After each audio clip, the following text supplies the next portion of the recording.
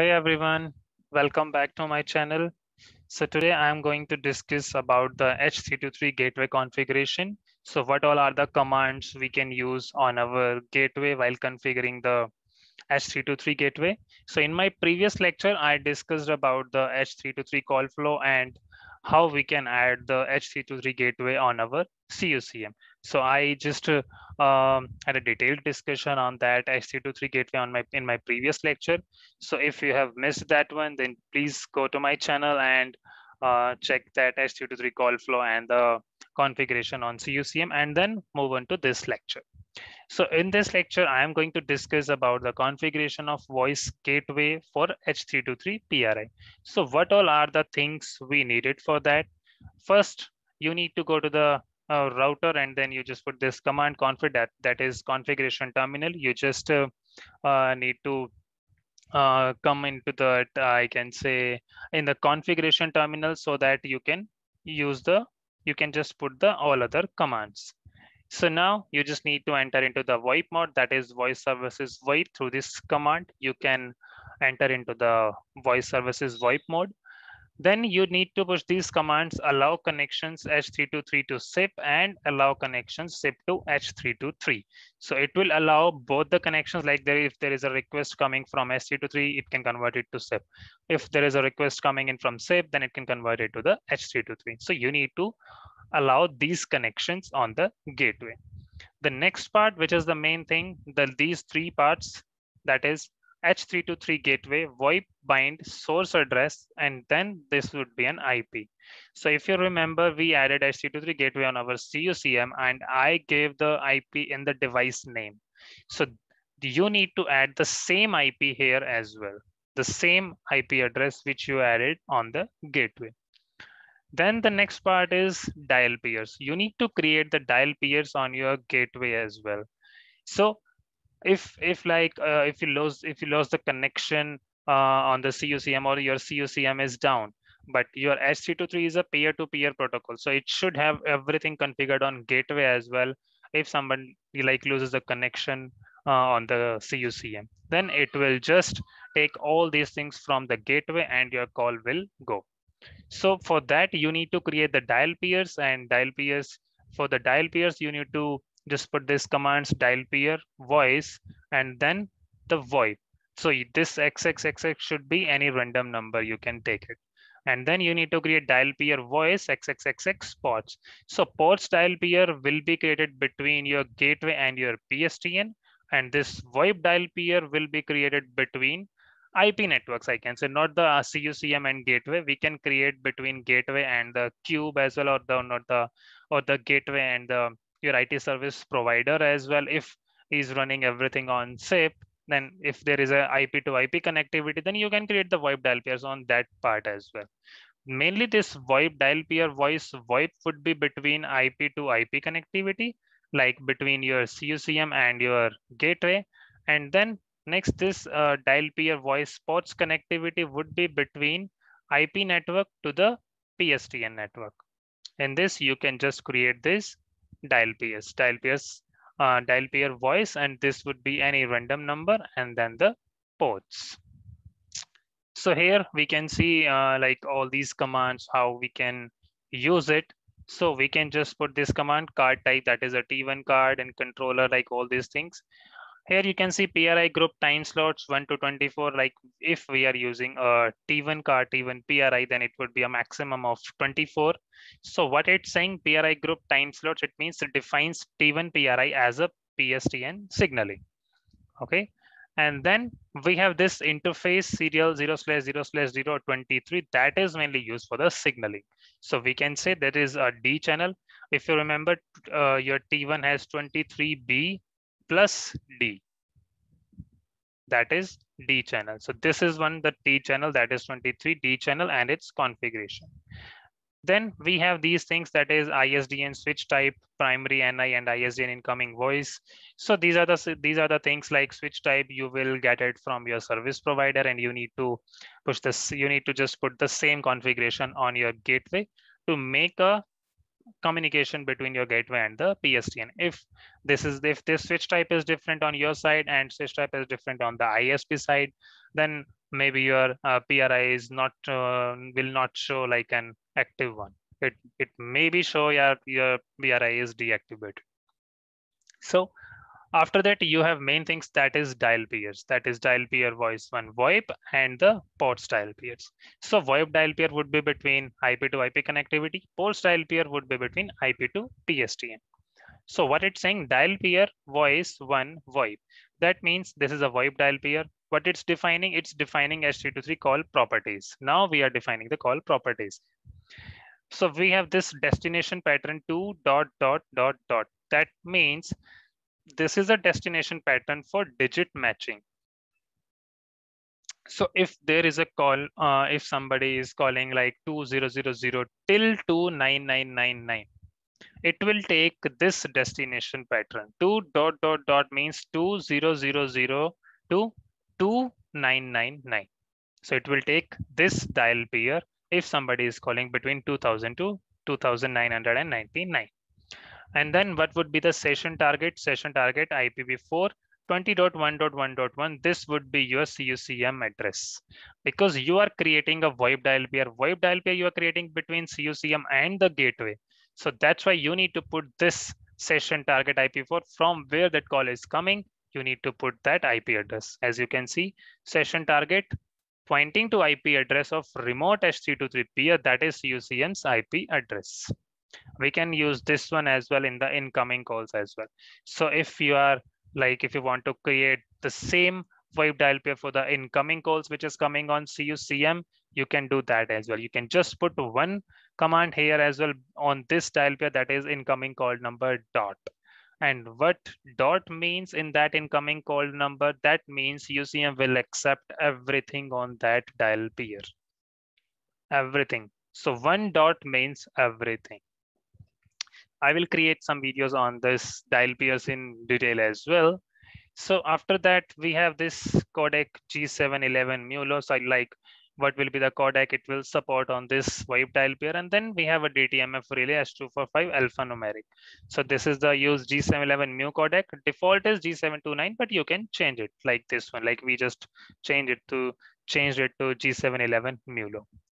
Then uh, this one command, this this is enabling the DTMF relay using H245 alphanumeric. Default is disabled.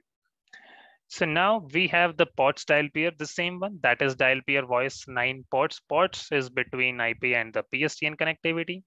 As you know, it is written ports dial peer pointing to PRI with destination pattern. Uh, let's discuss about this destination pattern. So here destination pattern 9T 90 means everything starts with 9 and then any any number. Like if there is a number like a 10 digits number 11 digits 12 digits number it will take everything. 9 t means every number which is starting with a 9 destination pattern 9t then there is a command direct inward dial that is a did command and then from which port it should go that one is port 0 slash 0 slash 0 colon 23 like on this port, our PRI is terminated. And from this PRI, from this port, which is connected on the gateway, my call should go to the PSTN. That is from, that is with the help of this dial peer. Then we have uh, these things, how we can uh, connect these dial peers with the configurations. Like these all are the commands. So as you can see it here, the command that is HTTP gateway VoIP source address VoIP interface and H323 gateway VoIP bind source address. This is the command which I was discussing earlier. Don't confuse with this IP address like here we have 1.1.1.1 and in my previous lab, I just configured 10.10.1.1.1. So it's not something like uh, I'm just taking everything from this uh, slide. I just I just showed you like how we can create it. And this IP address should be same on your CUCM as well as in this command. HTTP gateway VoIP bind source address. But it's saying it forces this gateway to use the loopback interface for all H323 signal and the RTP traffic. Then we have this thing that is voice class H3231, and then we have a H225 timeout setup. This is a timeout setting. So if there is like a, if your H323 uh, peer is not responding in this particular time, like you just we just entered the five here. If it is not responding to this peer, then it will check out for the next available dial peer. So let's see. It says H225 setup redundancy. Yes. Try a second VoIP dial peer if the remote S223 peer doesn't respond in five seconds. So if it is not responding in five seconds, it should reach out to another dial peer and how it will reach out to another dial peer that is the main configuration here. Now we can see we just uh, we just entered this command voice class h231 and we set up this one. Then we set up this command voice class codec 1 and then we will just enter the codecs. Codec g729r8 and the preference would be first. So every call will go which have so every dial peer which have this voice class codec 1 will pref will give the preference to this codec G729R8 and then it will give the preference to the G711 mu-law because this is a preference 2.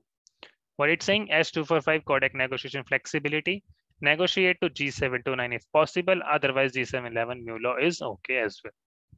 So now what we need to do, we need to put these voice class codec one command and voice class HTTP1 command to our dial peers. And how we can do that? We can just go to our dial peer voice one VoIP, which we created, destination pattern, this one same. And then we have a session target IPv4 20.1.1.1. And then here we can put the commands voice class h3231 and the voice class codec one, these one. So now if somebody is reaching out to this dial peer and you can see, okay, h3231 voice class h3231 is here and but it is not responding. So it will check okay the timer is five seconds but it is not responding. Then what it will do it will reach out to the another dial peer. So here first dial peer is this one and this is our second dial peer. So here you can see it is written as a preference one and nothing is written here as well here. So if nothing is written that means the highest priority. So the first priority would be given to this dial peer and then the next priority would be this dial peer so if user is on this dial peer and voice class H231 is already written over here and the timeout would be five seconds, but your H223 peer is not responding. So after five seconds, it will reach out to the another dial peer that is this one because the next preference would be this dial peer. It will reach out to this one. It will check the destination pattern, session target, everything. And you can see it here. If it doesn't respond, that means there will be an issue with the CUCM address or maybe your CUCM is not up. So that's why in another dial peer, I'm just adding a, a secondary CUCM, or I can say the secondary subscriber 20.1.1.2. So once it reaches to this dial peer, it will check H231, it will check the timer. And after that, uh, it should respond in five seconds because it's a new CUCM. It means it, it can be up, it might be up at that point of time. If it doesn't up, if it if it's if this uh, CUCM is not up at that point, then it will reach out to the third dial peer, which, which is having a preference of two. As it is written, it is a preference one, then it will reach out to the other dial peer as well. So the same things, voice class H3231, voice class codec one is written over here in the same way. As you can see in this as well, try this dial peer first if two dot dot dot is match because it has the highest preference that is a zero. Zero means default preference value and therefore invisible and reach out to this one if the IP host in dial peer 1 doesn't respond to s to 5 in 5 seconds, then try this dial peer as it has lower preference than this one. Then we have these commands which we can uh, use it on our gateway to check all other things like this one, show call active voice brief, what it will show, it will show you these things like telephony call legs sv23 call legs, total call legs, all these things it will show up here. You can use all these commands as well. Show call active voice. It will give you everything related to this one, IP address, remote IP address, UDP port number, test sig remote signaling IP address, remote signaling port, everything it will show up with this command, show call active voice. After that, you can use this command that is uh, debug cch323 and after this H323, you can use this one H225, H245, or all these as well. Debug CC, H323, all, RAS, and XC capacity. You can use all these commands. Debug CC, H323, H224, H225, H245. Then you can use debug h245 ASNL and debug h245 events command as well. So there are so many commands which you can use. So main command which we can use it for the debugging purpose that is debug voice ccapi in out. Debug voice ccapi in out.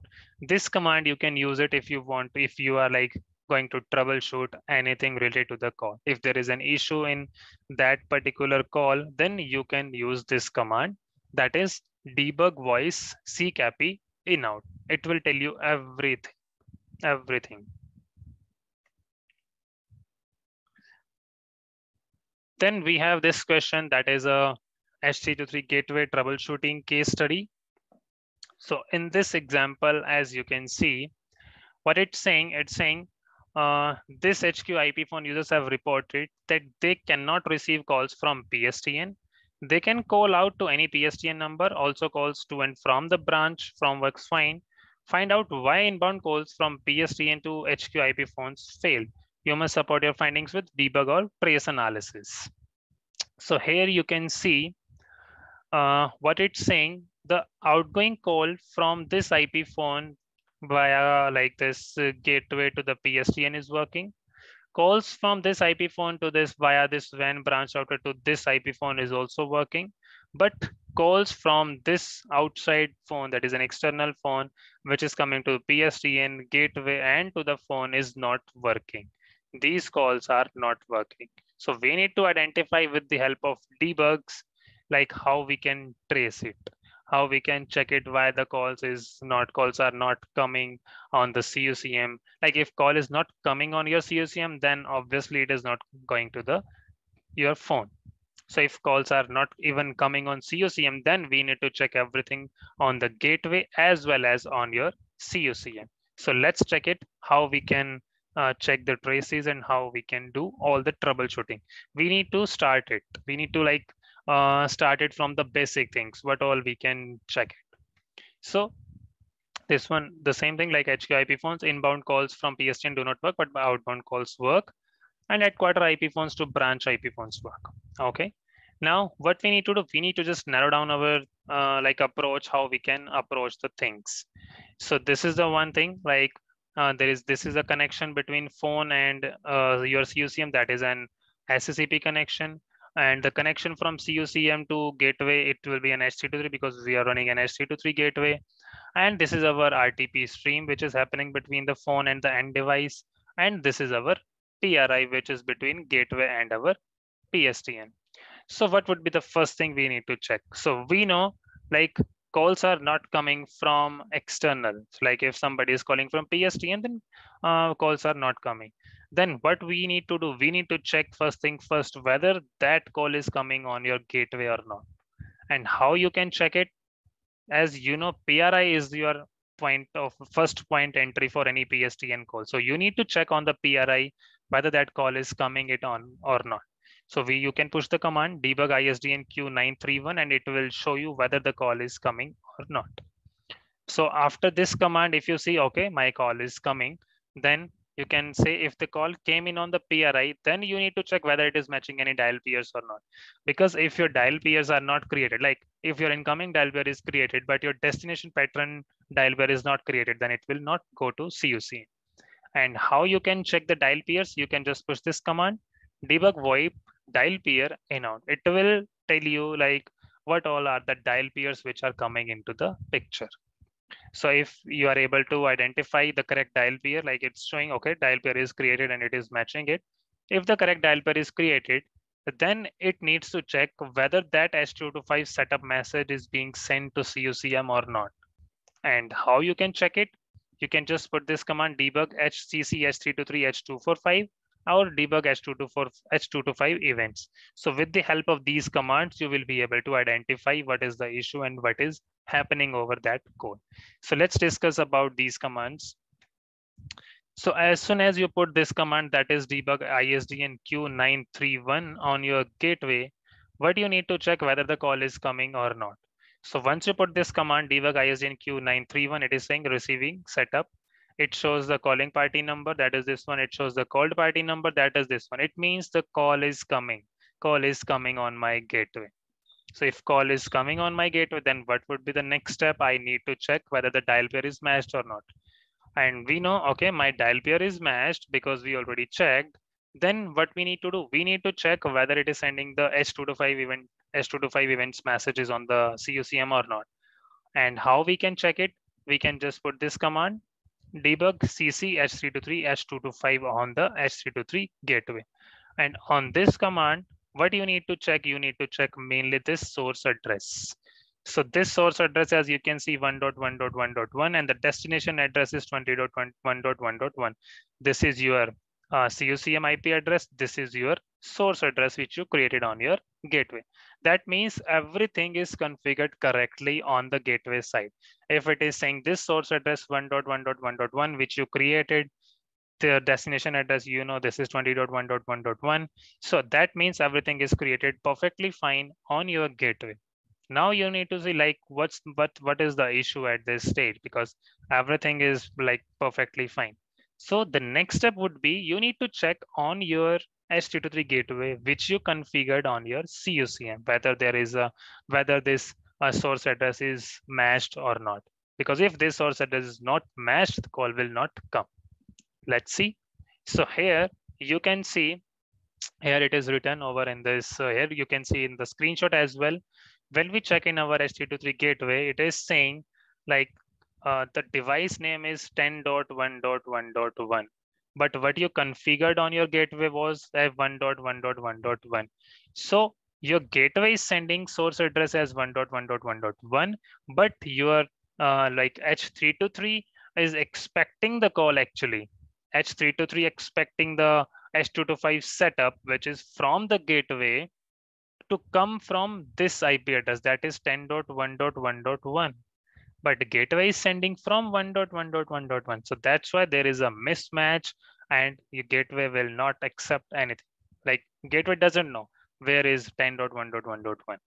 So that's why it is saying H323 gateway sends H2 to 4 2 to 5 setup message to CUCM using source IP address this one, which we just checked in our this one in our this command. The source address is 1.1.1.1. And what your CUCM is expecting, because you created 10.1.1.1, so your CUCM is expecting the setup message to come from this IP address. But as you know, you haven't configured this IP address. So that's why nothing comes up on the gateway. So CUCM, that's why CUCM just close the connection because nothing nothing comes up. CUCM doesn't know whether there is a call or not. If you just change, if you can just change this device name from 10 to the 1.1.1.1, the call will happen.